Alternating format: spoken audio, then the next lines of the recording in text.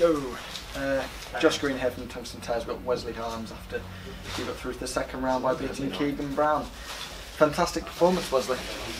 Yeah, it was up and down in that game, but uh, well, when I needed it, I, st- I stood there, so um, I'm very pleased with myself at the moment.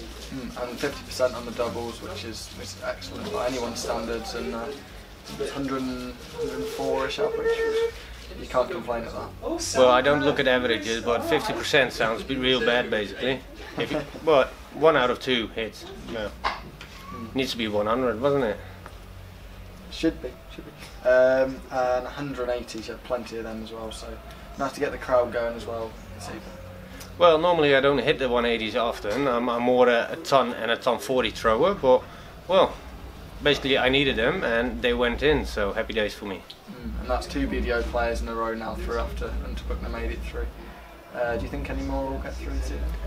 Well, to be fair, they've got a real tough job ahead of them. Uh, Michael Unterbuchner and me, myself, uh, had the easier one, just a shootout, winner goes through. And, well, Gary Robson's got soft game going ahead. And, yeah, Neil, what can I say? Yeah, two games lost, unfortunately, because he's playing real well. But, well, he needs to win with big numbers and hope. So. And this is a fantastic opportunity for the eight BDO players in the tournament, isn't it? Do you think? Well, I don't know who my next opponent is. I think it's Gary Anderson, so I need to step up and stand there. Mm, and do you think maybe you can keep the momentum going from your win today to, to maybe challenge Gary in that game?